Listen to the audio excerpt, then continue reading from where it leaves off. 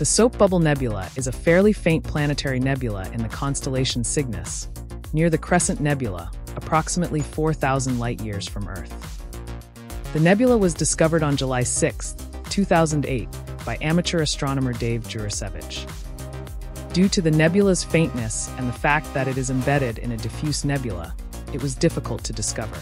The nebula derives its name from its symmetrical spherical shape, which resembles a soap bubble.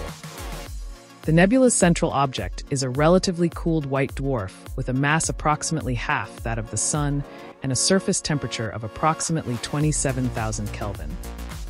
Currently, the Soap Bubble Nebula is one of the least studied planetary nebulae in the Northern Hemisphere, so its study continues.